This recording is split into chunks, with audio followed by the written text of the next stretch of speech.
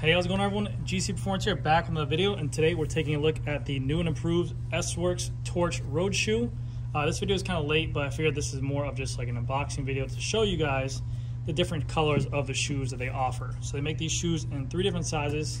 Uh, I'm to go through all the shoes, show you guys the colors, what they change on the shoe, and then also I have here a scale that we can weigh the shoe with, and I also have the older generation, the S-Works 7 shoe, to compare it, and I'll show you guys what it looks like on foot this is a size 45, and this is a size 45, so I'll put them on my left and right foot so you guys can see it and tell you what I notice about the differences in the feel of the, of the shoe. Um, but yeah, so big changes to the shoe is it's $450 now for the shoe retail. Obviously, it's the most expensive shoe they've done, I think, recently, um, compared to the Ares and the Vent, which were both 425 This is now their flagship and their most expensive shoe they offer. Also, with this being said, uh, there is no more numbers before they have the S-Works 6 shoe, the S-Works 7. This is just going to be called their S-Works Torch, which will follow in line with their S-Works or their normal Torch shoe lineup. They have the Torch 1.0, the 2.0, and also the 3.0. Now this will be the S-Works. So they also lowered the heel cup on the shoe, so now it is asymmetric, so it doesn't come up as high, so you don't get as much uh, ankle rub on the bottom. They made it stiffer on the interior side, so that way you don't get as much heel roll or arch roll when uh, sprinting and climbing, you have that support on the interior side of the shoe. Um, they also got rid of the Velcro strap. That was one of the biggest, in my opinion, gimmicky things I think I've ever seen on the sixes and the sevens. Anytime I bought one of these pairs of shoes or rode them, I don't think I ever pulled this tight to actually show any kind of efficiency of this being here, which I'll demonstrate for you guys when I put it on, but yes. Um, the boas are exactly the same as last year. This is the S-Work 7 boa. This is the torch boa as well. It's the exact same S3 boa that I've been using. But um, yeah, the biggest differences they said were that they changed the bottom of this to make it, the, I believe they call it like an I-beam to make it lighter. But not only lighter, they made this wider to give you more room in the toe box. And me putting the shoe on beforehand in the video, I put them on side by side and it does feel noticeably different. So without further ado, let me just show you guys the differences in the colors, just in case you guys can't get to a shop or maybe your local shop doesn't have these shoes in stock and you're considering ordering some of these, um, you can guys at least see what they look like on camera. For reference, these are all size 45, 44 and a half, 44 and a half um, European size. So I think this is a 11 and a half, 11 and 11. So keep that in mind. But this is the white version they offer. It's got silver bows in there. Nice white bow string.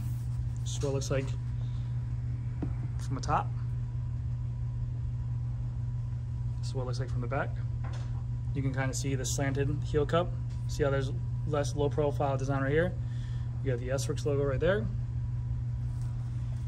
We have the Specialized logo on the front, interior side, and then the bottom. Nice little vent hole right here for some air circulation. And then we have the titanium clips in here for your cleats on to the new color, which it's a cool color. It's really, really cool color. I just assume like like usually they did like the red color with Ares. That was a color they did. I haven't seen any bikes they drop for these, so maybe this is a hint. They might have like a 2023 model come out with this color. It's just you don't really see a lot of bikes with this. But anyways, this is called Oak Green. You have the S-Works in this green color.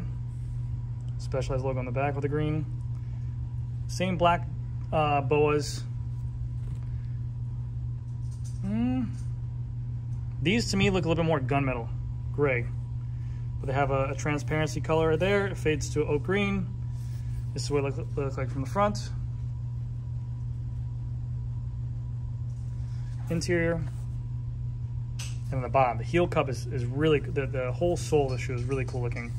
You have the S-Works logo right there. The green spack on there. That would be cool if this was all over the shoe. And you have a green insole as well. And then for the black, just regular, more of like a dove gray or gray color S-Works logo, black heel cup, gray Specialized logo, silver gray Specialized logo there, black S3 boas. This is what it looks like from the top, the interior, and then the bottom, same sole as well. Very cool. A lot of people didn't like the design. This is definitely out there. But for the black and white shoes, I heard mixed feelings. I heard one, people loved it because of the fact that it's not a big brand in your face. It lo looks a little bit less like you're buying a brand to wear because not a lot of people have specialized bikes and they might want to buy these shoes, but they don't want to mix and match. So they like the less uh, in your face look to it. Um, but I miss, I think this, I think this design looks really cool. I like the S-Works logo. Now, granted, again, I am a specialized store. I ride specialized bikes. I like having everything there. So this maybe will work for more of a, an all-around or better marketing scheme for people in general with buying shoes. But um, yeah, let's go ahead and weigh these two, and I'll show you. All right, so here we go with the weight scales and grams. We have a 45 uh, S-Works 7 shoe right here. This is a stock shoe. This is a 45 S-Works Torch shoe. So, go ahead and put the 7 on here. No packaging on there. We're at 270 grams. Okay. And these are with the original stock soles as well. Everything's stock as it comes. These ones are at 253 grams. So we're taking off about uh, 17 grams, I think. Seven? No. Yeah. Somewhere around there. 17 grams per shoe, which is really nice actually. Very comfortable design. I'm gonna go ahead and put them on side by side to show you guys how they feel. All right, so for reference, I've owned a pair of the S-Works 7 shoes before. They are a very comfortable shoe a lot of feedback that I got as a salesman here and as someone who sold the shoes was from uh, consumers was that they're almost too stiff. Now these shoes have the exact same stiffness as the S-Works 7 shoes. So it's the exact same stiffness. I think it's a stiffness index 15. So they said that they weren't they weren't losing any kind of stiffness by redesigning this sole on the shoe. So it's the exact same carbon stiffness from shoe to shoe. Now, both dials are dialed down. Both boas are dialed down. This is what I'm talking about. This little thing right here, this literally, when I pull this thing, does nothing. Like literally, literally does nothing. I don't even know what the hell the point of this was. Doesn't make any sense. But that's how you look. First initial impressions of putting on a stock 45 shoe. Uh, immediately when I tighten out these boas, I feel pressure on the top of my foot. Now I do have really wide feet and I do have really high arches. You guys can see right there. I have pretty wide feet right here, wide bunions. But like I said, this is initial tighten down for the boas. Very tight on the top and tight in the toe box. So I don't ride a wide normally, but uh, I do notice it right away. I usually just kind of let the break-in period happen. But immediately when I go to these new Torch shoes, now this is just me again. It's not me selling you guys shoes because you guys don't need to buy from me. But I'm telling you guys, this whole shoe, even though it looks very minimalistic, feels like a complete redesign it feels more, and I, I hope you guys understand this, this feels like I'm putting on a shoe and I'm on top of the shoe and just riding like a bike on the shoe. This feels more like a glove fit. The whole tongue, the way it fits the top of the foot, you can even see the shape of the tongue. Much more contoured to the top of the foot, so I don't feel any pressure at all on the foot, which feels good. They changed the design of the boas. So they changed the, dial, the design of the boas here to point where these where these line up at. You can see here to here, left and right. So where the meeting points of your shoes at, this is where I feel the pain at and the pressure.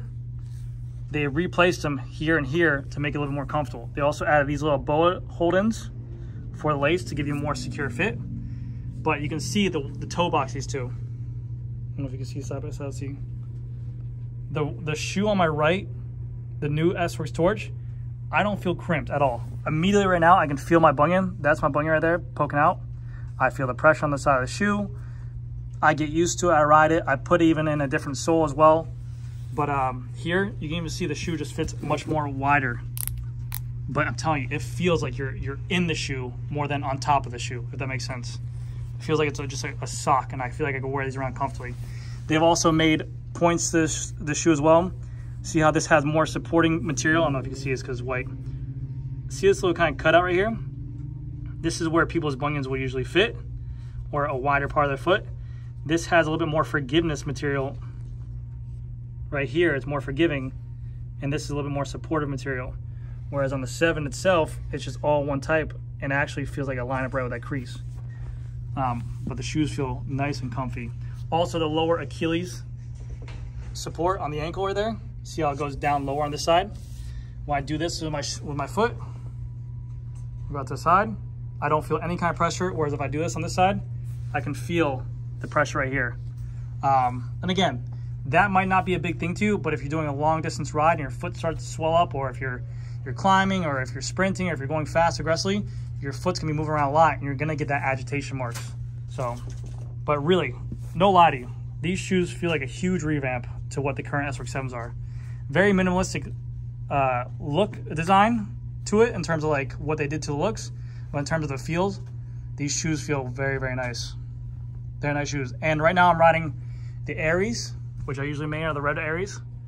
And I do have a pair of the um, uh, Shimano S-Phyres. I usually main the Ares more than the S-Phyres. But these shoes feel really badass. So anyways, guys, that's going to do it for this video. Thank you guys again so much for watching. Hopefully you guys enjoyed it. If you have any questions, let me know in the comment section below.